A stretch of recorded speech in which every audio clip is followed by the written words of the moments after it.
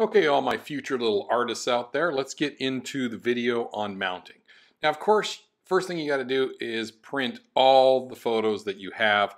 For this exhibition, you know you need about 10 photos to put on exhibition for the art auction. Okay, so you get all those printed up, they all look really nice, and then of course you trim them down. I said in a previous video, I like to trim and leave a little bit of white edge on there, but you can see if my printer, it actually printed one edge completely to the edge, and so I had to trim that off of all of them. So that's the first thing you got to do is just trim down all your photos so they all look good. I had about six of my 10 that were exactly the same size. So I was able to get my black paper and I made one that fit and then I was able to, of course, use that as a template to cut out a bunch more.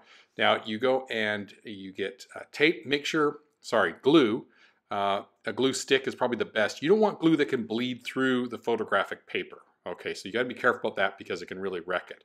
So uh, use some mounting uh, stickies, some double sticky mounting pads, or use like glue stick and that'll be really good. Okay, so anyhow, you get all those um, uh, black papers cut out. I leave about one inch around the edge of my photo. And you can see here from my photos what it, what it looks like here. I leave about an inch of black. I think it just makes it look really professional and really nice.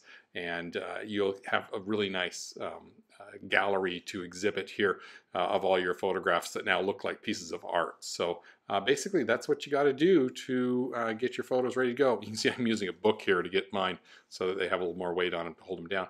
But that's how I mounted them so that they're ready to show.